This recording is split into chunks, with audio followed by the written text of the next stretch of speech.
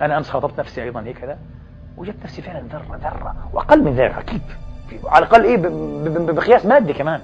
أتحدث حتى بمعنى روحي. مقياس مادي في هذا الكون السحيق المخيف كون الأسترونوميا الكوزمولوجيا الحديثة أقل من ذرة الأرض هي أقل من ذرة. فإيش أنا وإيش أنت؟ أقل. فشعرت بشعور مخيف طبعا من الضياع للحظة لأقل من لحظة. مثل الشعور شعر به باسكال بليز باسكال. كان يقول تروعني. وتخوف تخوفني تفزعني قال. تلك العتمة والظلام والبرود الأجلي الذي يلف هذا الكون. كان متخيل الكون؟ والكون اللي تخيله بليز باسكال أنا متأكد أصغر من كونه هذا بلايين المرات. يعني أينشتاين نفسه. أينشتاين متى توفي؟ 1955 إيه، كان يعتقد أينشتاين أنه إيه؟ أن الكون يعني القطر تبعه 2 مليار سنة ضوئية. كلام فارغ شو 2 مليار؟ 13 بليون سنة ضوئية ونص. تخيل. آه ما كان. فكيف بليز باسكال عاد قبل 300 سنة؟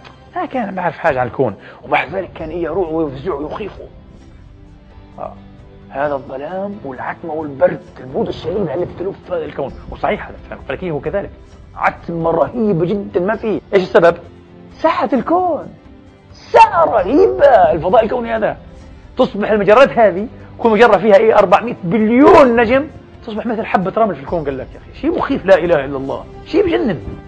هذا الكون فتفكر في حالك مين أنا؟ مين أنا؟ مين أنت؟ مين إحنا؟ مين الأرض؟ مين كذا بعدين سبحان الله في لحظة أقل من لحظة وأنا ماشي هيك واعتراني الشعور مخيف بالتيه والضياع. يعني إيه ما؟ قلت لا. خاطبت ربي يا رب. أنا ذرة؟ نعم. لكن أنا ذرة لها دور. ذرة لها مدار. فيها أوربت تلف فيه. هذا مدار حبك وتوحيدك. بشرعك وبأمرك. أنا ذرة لها مكان إذا. خلص فلأكن ذرة. لكن عندي مكان. صراحة. هندسيا وحيزيا عدم لكن روحيا تصبح أنت أكبر من الكون كله. صح.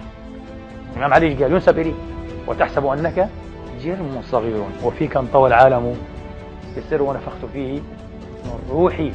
آه. محمد إقبال يقول كمان؟ يقول عن المؤمن والمؤمن حارت الأكوان فيه. المنافق والكافر والملحد هذا والضايع له الكون تيه. أما المؤمن فحارت الأكوان فيه. قال كلها بتضيع فيك. إيش الخصيصة اللي عندنا عشان يسخر لنا كل شيء في الكون. ليش؟ لأنه عندنا ما ليس عند الكون كله. هو هذا.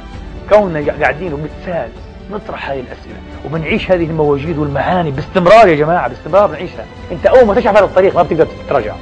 خلاص. مش هي لذة فقط. ومش نوع من الاستهواء بيصير عليك. فانا شبهتها مرة إيش؟ بذرة. هيك صح. بذرة. الآن ذرة حديد أمام مغناطيس بحجم هذا مثلا إيه؟ المصحف الشريف. إيش بيصير لها؟ مستحيل. مباشرة تجدد فكيف لو كان هذا الجاذب الأعظم هو رب العالمين؟ لا إله إلا هو. مغناطيس القلوب هو الله. أنت ستذهب إليه بسرعة البرق وستعمى وتصم أه؟ وتجهل كل ما عداه ده خلاص.